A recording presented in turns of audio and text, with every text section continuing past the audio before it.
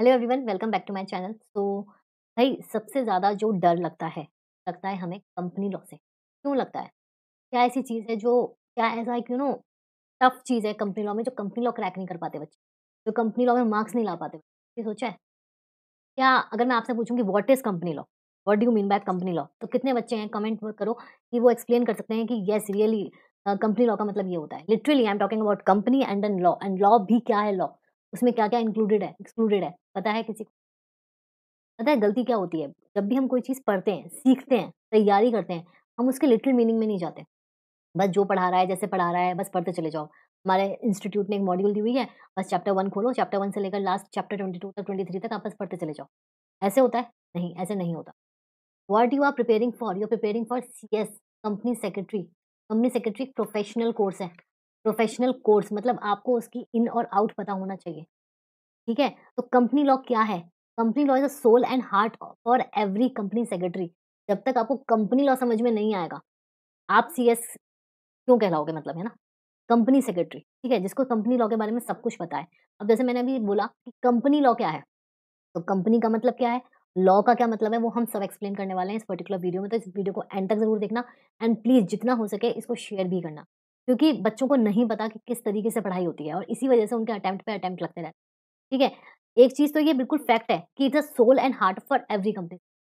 ठीक है? जब आप बोलोगे कि आई एम सी एस तो आपसे सामने वाला एक्सपेक्ट करेगा कि आपको कंपनी लॉ पता होगा। आपको कंपनी लॉ के बारे में हर चीज़ पता होगी। ठीक है? You are expert highly qualified expert of company ठीक है? चलो, अब हम बात करते हैं कंपनी का मतलब क्या है एंड लॉ का मतलब क्या है। कंपनी क्या है? Company means incorporated under this act और any other under any previous law previous law कौन सा हो गया? अभी कौन सा चल रहा है हमारा एक्ट कंपनीज़ एक्ट 2013 13 क्यों लिखते हैं? क्योंकि तो थर्टीन में, ठीक है? इससे पहले कौन से थे? 1956 था पहले। मैंने वो भी पढ़ा है, ठीक है? 1956 था, उसके बाद 2013 में जो पूरा एक्ट आया दोबारा तो 2013 ठीक है? नाउ कंपनी हम पढ़ रहे हैं और हमने बोला कोई भी कंपनी जो इनकॉर्पोरेटेड हो इस एक्ट में मतलब 2013 एक्ट में या फिर कोई प्रीवियस एक्ट में, हम ऐसा क्यों बोल रहे हैं? अगर कोई कंपनी बहुत पुरानी है से फॉर एग्जांपल वो इनकॉर्पोरेट हो गई 1940 में तो 2013 में क्या उस कंपनी को अपने आप खत्म कर देंगे? वो कंटिन्यू रहेगी ना ऑब्वियसली लॉज एप्लीकेबल तो इसलिए हम बोलते हैं कि company incorporated under this act और एनी अदर प्रीवियस एक्ट और लॉ ठीक है? अब कितने टाइप्स की कंपनी होती है? Basic OPC that is one person company private company two public company three क्या ये? वन टू थ्री क्या है? What is one two three मतलब आपको उतने लोग चाहिए उसको स्टार्ट करने के लिए। आप खुद इंडिविजुअल हो, आप OPC one person company start कर सकते लेकिन अगर आपको प्राइवेट कंपनी करनी है तो आपको अपने साथ एक चुंगू पुंगू सोनू, मोनू, कोई ना कोई लाना पड़ेगा। और अगर आपको पब्लिक करनी है तो आपको अपने साथ दो सोनू, मोनू लाने पड़े ठीक है? वरना आपकी ये जो मिनिमम रिक्वायरमेंट है, ये नहीं खत्म होगी ये नहीं कंप्लीट होगी तो आपकी कंपनी नहीं बन सकती, ठीक है? देन बेसिक चीज़ें। पता है, ये मैं एक्सप्लेन क्यों कर रही हूँ? क्योंकि बहुत बच्चों को इसको लेकर सेपरेट लीगल एंटिटी ये आपको क्लास ट्वेल्थ में क्लास इलेवंथ में पढ़ाया था बिज़नेस स्टडीज़ में, जो बच्चे कॉमर्स हैं, ठीक है? सेपरेट लीगल एंटिटी का क्या मतलब है? अगर ये हैं, सोनू मोनू, इनकी कंपनी है सोनू मोनू प्राइवेट लिमिटेड तो सोनू मोनू अलग हो गए और इनकी कंपनी अलग हो गई। They can't be treated like one ठीक है? कंपनी अपने आप में कौन है? एक आर्टिफिशियल पर्सन है। पर्सन है, जिसकी एग्जिस्टेंस है इन आइज़ ऑफ़ लॉ ठीक है? तो वो सेपरेट लीगल एंटिटी है। कभी भी आपने ध्यान दिया होगा, जब भी हम कंपनी लॉ पढ़ते हैं, उसमें पेनल्टी गिवन होती है नीचे। ठीक है? अब पेनल्टी में क्या होता है? कंपनी पर अलग पेनल्टी लगेगी और ऑफिसर्स पर अलग लगेगी। क्यों? मेरी कंपनी है तो कंपनी अलग से पैसा थोड़ा लगेगी मैं ही पैसे पे करूँगा। बट वही है कंपनी ने भी जुर्म किया है क्योंकि वो सेपरेट लीगल एंटिटी है इसलिए हम उसको ऐसा ट्रीट कर रहे हैं और ऑफिसर ने जो किया है वो तो किया ही। ठीक है? So it's artificial person separate legal entity वो अपने आप में इनकॉर्पोरेट होती है जन, जन्म होता है उसका अपने आप वो मरती है। ठीक है? जब बाइंड अप होती है। तो सेपरेट लीगल एंटिटी इस चीज़ को दिमाग में आ, बिल्कुल घुसा लेना इस चीज़ को। ठीक है? आर्टिफिशियल पर्सन है। लिमिटेड लाइबिलिटी अनलिमिटेड लाइबिलिटी किसकी होती है? जरा अभी पॉज करो और कमेंट करो मुझे। अनलिमिटेड लाइबिलिटी किसकी होती है? लिमिटेड ही होती है। नहीं सबसे पहले तो समझो लिमिटेड अनलिमिटेड क्या होती है। जब आप एमओए पढ़ते हो उसमें आपका एक क्लॉज होता है लाइबिलिटी लाइबिलिटी क्लॉज उसमें क्या होता है कि आपकी लिमिटेड है मतलब जितने भी शेयर्स का पैसा आपने नहीं दिया आपको वो पे करना पड़ेगा, वो आपकी लाइबिलिटी सिर्फ़, आपको और कोई मतलब नहीं है, कल को कंपनी डूब जाए, मर जाए, कुछ भी हो, आपका उतना ही डूबेगा जितना आपका उसमें पैसा लगा होगा, ठीक है? जितने आपका उसमें शेयर्स होंगे वो पैसा डूबेगा। और इसमें लिमिटेड लाइबिलिटी तो ये हो गई, अनलिमिटेड लाइबिलिटी कि आपका भी सब कुछ लग जाएगा, जैसा किसमें लग जाता है? पार्टनरशिप फॉर्म में।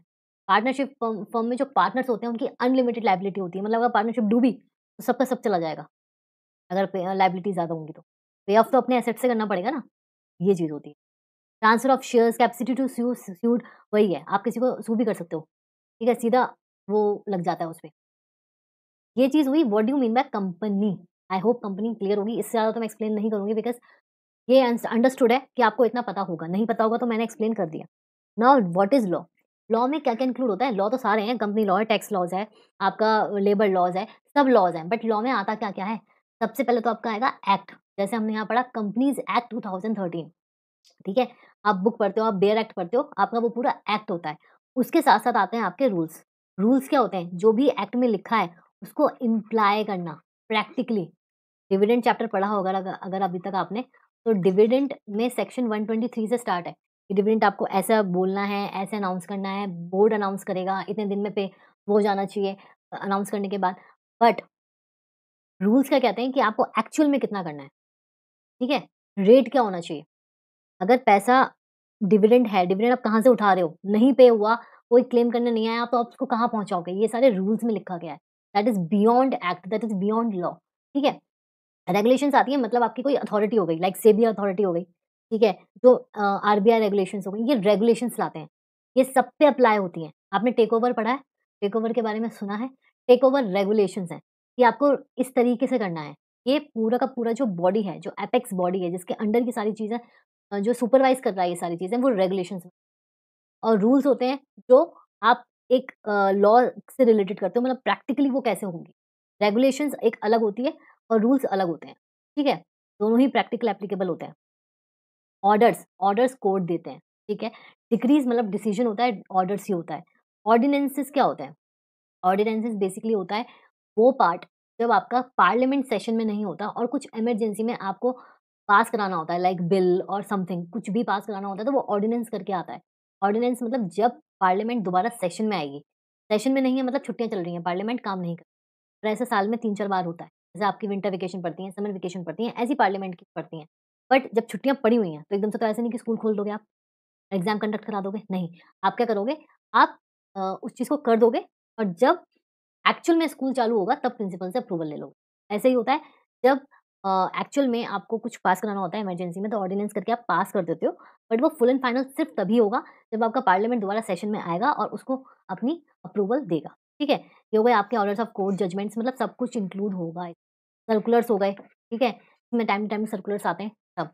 अच्छा, आपने ये देखा होगा कि हमारा ही एक ऐसा प्रोफ़ेशन है, इसमें आपने देखा होगा कि यार 6 महीने बाद हमें दोबारा बुक लेनी पड़ती है, फिर 6 महीने बाद हमें दोबारा बुक लेनी पड़ती है, हमें चेंजेस काफ़ी आते हैं।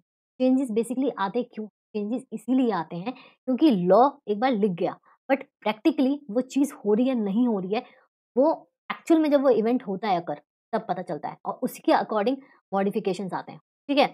तो इसलिए आपको टाइमली अपडेट होना पड़ता है और टाइमली चेंजेस इसमें आते रहते हैं। ये हो गया पूरा। अब सबसे इम्पोर्टेंट है approach to study company law. अगर आपने ये वाली चीज़ सुन ली और ये चीज़ अपने ज़हन में बिठा ली, तो आपको कभी भी कंपनी लॉ से डर नहीं लगेगा क्योंकि आपको सही तरीका पता होगा कि आखिरकार उसे पढ़ते कैसे हैं। आधे बच्चों को ये नहीं पता है कंपनी लॉ पढ़ रहे हैं बट एक रट्टू तोते की तरह सिर्फ़ एक लाइन, दो लाइन, तीन लाइन ऐसे पढ़ते चले जा रहे हैं। मतलब किसी का नहीं पता। लॉजिकल जो एक सीक्वेंस होता है वो नहीं पता और इसी वज़ह से बच्चे लैक करते हैं। ठीक है? सबसे पहले आपको क्या करना है, आपको पार्ट बी स्टार्ट करना है। क्योंकि आपको पता होना चाहिए कि कंपनी है क्या? कंपनी में कौन काम कर रहा है? कौन उसको चला रहा है? ठीक है? एक कंपनी है A B C private limited ले लो चलो, छोटी company, not talking about public company. एक ये कंपनी है, इसको कौन चलाएगा? सबसे पहले इसमें काम कौन करेगा? डायरेक्टर्स करेंगे। ठीक है? डायरेक्टर्स होंगे तो बोर्ड कॉम्पोज़िशन बनेगी और उसकी पावर्स डिसाइड होंगी। ठीक है? Meeting of board S S one board composition बनेगा तभी मीटिंग ऑफ़ बोर्ड कंडक्ट होगी ना। फिर जनरल मीटिंग ये तीन है बोर्ड का काम खत्म। यहाँ से आता है शेयर होल्डर्स का काम। ठीक है? फिर कमेटी मीटिंग्स, बड़ी कंपनी होगी तो कमेटी बनेगी ना। There there always a limit, a barrier कि आपकी स्टेक होल्डर्स कंपनी या नॉमिनेशन रेमिनेशन कमेटी या ये सारी चीज़ें आपकी तभी होंगी जब आपकी लिमिट होगी कि आपके पास इतने शेयर होल्डर्स हैं इतने स्टेक होल्डर्स हैं तो ये सब पे अप्लाई नहीं होगी ये जो बोर्ड मीटिंग है, ये हर कोई करेगा। हर एक काम से पहले बोर्ड मीटिंग बोर्ड मीटिंग क्या है? बोर्ड मीटिंग आप ये समझ लो कि आपके घर में अगर कोई भी इवेंट हो रहा है, शादी में जाना है, किसी बर्थडे पार्टी करनी है, अपने ही घर में तो आप डिस्कशन करोगे? आप, आपके पेरेंट्स ठीक है? आपकी अपनी फैमिली में discussion that is board meeting ठीक है? कंपनी के अंदर सिर्फ़ डायरेक्टर्स के बीच में बात हो रही है। अगर आपको थोड़ा बाहर निकलना है तो आप कहाँ जाओगे? अपने रिलेटिव्स के पास। ऐसे ही you are going to the shareholders वो क्या हो गई आपकी जनरल मीटिंग और फिर उससे बाहर जाओगे. आप पहले घर में थे, घर से रिलेटिव रिलेटिव से बाहर कहाँ जाओगे? अपने सराउंडिंग्स में फ्रेंड्स एंड सर्कल में. ठीक है? तो वहाँ पे क्या होगा वहाँ पे स्टेक होल्डर्स हो गए. ठीक है? वहाँ पे आपके और जने हो गए. तो मैं इस चीज़ को, ये बेस है. इसको रह के चलोगे, अपने रियल एग्जाम्पल्स लेके चलोगे, अपने लाइफ से बहुत जल्दी क्लैरिटी आएगी. और इसी वजह से आपको जो अप्रोच है वो ध्यान में रखनी है वाइल प्रिपेयरिंग एनीथिंग यहाँ तो मैं कंपनी लॉ की बात कर रही हूँ. बट आप कुछ भी अपनी लाइफ में पढ़ोगे उसको एक लॉजिकल सीक्वेंस में जब तक अरेंज नहीं करोगे इट्स टोटल वेस्ट ठीक है? कमेटी तक समझ में आ गया? पहले board meeting then general meeting then committee then corporate social responsibilities ठीक है ना? कि आपके बाहर की तरफ़ भी कोई रिस्पॉन्सिबिलिटी है। ये सब चीज़ें होंगी, तब आप जाके चैरिटी करोगे। तब आप जाके डोनेशन दोगे ना? तो वही है कॉर्पोरेट सोशल रिस्पॉन्स ठीक है? अब जब सब हो गया तो आप एट द एंड क्या बनाते हो? अपनी रिपोर्ट बनाते हो? कितना खर्चा हो गया, कहाँ मैंने सीएसआर में दे दिया, कहाँ मैंने जनरल मीटिंग करी थी तो कितना एक्सपेंस आ गया बोर्ड मीटिंग में कितना एक्सपेंस आ गया, वो आपकी एनुअल रिपोर्ट है विद दैट डॉक्यूमेंट ठीक है? और फिर आपकी लास्ट में मैंने लिख दिया वैसे तो ये बीच में भी आ सकता था लेकिन एक सीक्वेंस चल रहा था एम पी एंड रेमिनेट जो आपके की पर्सन है की पर्सनल है, आपके सीईओ वगैरह, इन सब की रेमिनेशन और स्तर पर क्या होगा? ये देखो, आना तो कायदे से चाहिए फिफ्टींथ चैप्टर में, लेकिन कंसिडरिंग कि आप एग्जीक्यूटिव ठीक है? एक बार आपको समझ में आ जाएगा, आप अपने आप रिकॉल करता और यहाँ मैंने बाइफर्केशन भी करा है। ये आपके चैप्टर्स मॉड्यूल के हिसाब से नहीं है। मॉड्यूल के हिसाब से हैं बट यहाँ पे थोड़ा सा मैंने अपने अंडरस्ट आपकी बेटर अंडरस्टैंडिंग हो सके, इसलिए मैंने इसको बाइफर्केट किया एक चैप्टर में meeting of board and S S one. ठीक है? तो ये सब चीज़ें आपको ध्यान में रखनी है। ठीक है? और मेरी जो बुक है, वो भी इसी तरीके से मैंने डिज़ाइन की हुई है, ये उसी की अप्रोच में आपको समझा रही हूँ। ठीक है? Then part A part A में various doctrines of company law जो आपका फ़र्स्ट चैप्टर है। ये आपका चैप्टर पूरा सीक्वेंस वाइज है क्योंकि फिर legal status types of registered companies M O A O की सारी चीज़ें आपकी वैसी आती हैं share share capital member shareholders but इसमें एक चेंज मैंने किया है, वो है आपका chapter this one inspection inquiry investigation ये मैंने रखा है लास्ट में, क्योंकि ये काम ही तब आता है। ठीक है कॉम्प्रोमाइज अरेंजमेंट एम कमीशन के बाद ये चैप्टर आपका तो ये सब चीज़ें आपको ध्यान में बहुत रखनी है, बहुत अच्छे से रखनी है ये आपके सिर्फ़ एग्ज़ाम के लिए नहीं, आपकी थ्रू आउट अंडरस्टैंडिंग जब तक आप सीएस का काम करते रहोगे, ठीक है प्रैक्टिकल लाइफ में भी प्रोफेशनल लाइफ में भी आपको ये बहुत काम देगा। ठीक है? आपकी जो स्टार्टिंग से अप्रोच रहेगी स्टार्टिंग से आपको कंपनी लॉ पढ़ने की और समझने की जो अप्रोच रहेगी, वो आपको लॉन्ग टाइम लॉन्ग टर्म तक आपको फ़ायदे देगी। ठीक है? तो आपको पढ़ना अभी से है तो अभी से ही आपको पड़ेगी ऐसा लाइफ में कभी नहीं होता कि चलो एग्ज़ाम तो मैं ऐसे दे देता हूँ, ऐसे दे देती हूँ बट बाद में अपनी अप्रोच चेंज कर लेंगे। नहीं, ये कभी नहीं होगा। जो आपके बिलीव्स हैं, जो आपके पेरेंट्स ने बिलीव्स डाले हैं, वो आपके थ्रू आउट लाइफ चलते हैं ना, बस। जो स्टार्टिंग में अपने आप नर्च नर्चर कर लोगे अपने ब्रेन को, अपनी उसको, वैसे ही बनता चला जाएगा। तो कभी भी गलती मत करना, गलत तरीके से। ठीक है? बहुत ही जल्दी मैं इसका रिवीजन भी स्टार्ट करने वाली हूँ। लास्ट मार्च लास्ट तक मैं स्टार्ट कर दूँगी ताकि जो फास्ट तक रिवीजन रहेगा बेसिकली तो जो भी आपके जून अटैम्प्ट है, आप अभी तक अपनी अंडरस्टैंडिंग के साथ पढ़ो, उसके बाद हम फुल प्रूफ इसका रिवीजन करेंगे। Fast track batch full on YouTube free of cost just please do support support से ही सब कुछ सिस्टम होगा, ठीक है? आप सब्सक्राइब करो शेयर करो मेरी वीडियोस को। जितना प्यार दोगे, उतना ज़्यादा अच्छे से काम निखर के आएगा कि आपका प्यार साथ में रहे, ठीक है? तो ऑल द वेरी बेस्ट जो भी बातें मैंने कही हैं प्लीज़ उस पर गौर करो, ठीक है? चलो।